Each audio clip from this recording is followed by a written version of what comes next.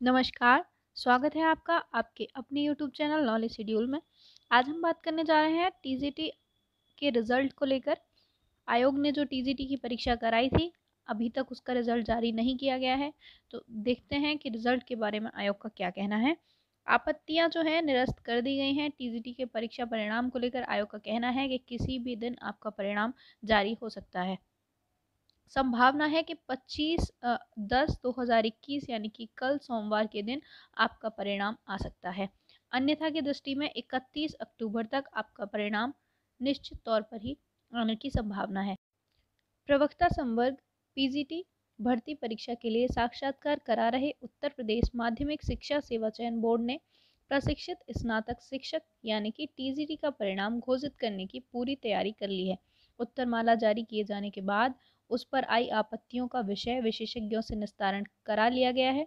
प्रवक्ता संवर्ग और प्रशिक्षित शिक्षक स्नातक भर्ती को सुप्रीम कोर्ट ने 31 अक्टूबर तक पूरी करने के निर्देश माध्यमिक शिक्षा सेवा चयन बोर्ड को दिया है। इस बीच टीजीटी की उत्तरमाला पर आई आपत्तियों का भी निस्तारण अब हो जाने के बाद परिणाम किसी भी दिन घोषित किया जाने पर अभ्यर्थियों को दिवाली के तोहफा दिए जाने की तैयारी में बोर्ड है। पीजीटी परीक्षा भर्ती के लिए सात लाख दस हज़ार आठ सौ चौवन अभ्यर्थियों ने आवेदन किया था। परीक्षा में बैठे सभी अभ्यर्थियों का जो इंतज़ार है, वो अब खत्म होने वाला है।